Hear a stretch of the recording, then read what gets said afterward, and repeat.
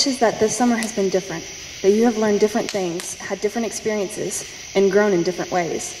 But we also hope that it has been the same, filled with the same friends, the same familiar paths, and the same things that you have come to love about camp. We hope that this summer has been hard, that you have done hard things and faced difficult challenges. But we hope that this but we hope this has also been an easy summer with easy conversations full of easy laughter and ready smiles.